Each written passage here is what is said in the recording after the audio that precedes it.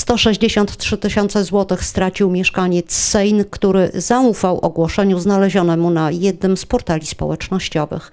Wiosną kliknął w internetową reklamę, a link przeniósł go do formularza, do którego wpisał swoje dane i numer telefonu. Szybko się z nim skontaktowano.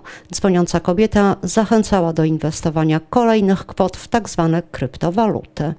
Rozmawiali ze sobą wielokrotnie, bo oszustka opróżniała konto 57-latka od kwietnia do czerwca.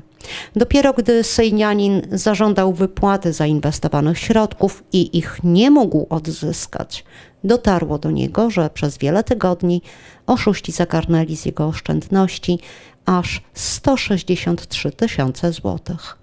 Również internet, ale tym razem rzekoma loteria skłoniła jednego z suwalskich seniorów do wypełnienia cyfrowego formularza kontaktowego. Potem scenariusz był podobny.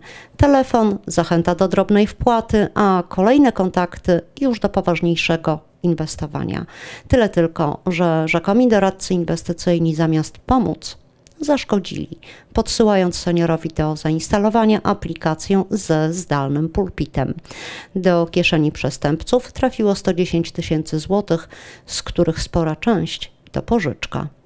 Policja ponawia apele o rozsądek. Nie ufajcie osobom, których nie znacie i nie powierzajcie im swoich pieniędzy. To jedyny sposób, by nie stracić oszczędności lub nie popaść w naprawdę poważne zobowiązania.